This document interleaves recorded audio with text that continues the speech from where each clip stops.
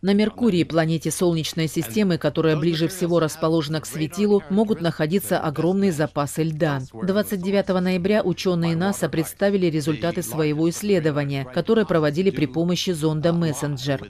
Несмотря на то, что температура большей части поверхности планеты днем превышает 300 градусов по Цельсию, на Меркурии существуют участки, до которых солнечные лучи практически не доходят. Вот на этих участках, а точнее в кратерах, и было обнаружено вещество, которое, вероятнее всего является льдом под небольшим слоем пыли. Также были найдены органические вещества. Это действительно соответствует предположению, что эти отложения — это своего рода лед, сохранившийся в постоянно покрытых тенью регионах. Как считают ученые, вещества попали на планету миллионы лет назад в результате столкновений с кометами и астероидами.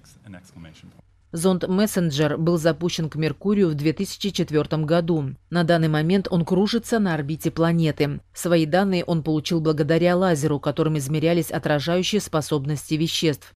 Несмотря на открытие, ученые говорят, что на планете вряд ли когда-то существовала жизнь. Однако они полагают, что эта находка поможет им разгадать процесс зарождения жизни на Земле.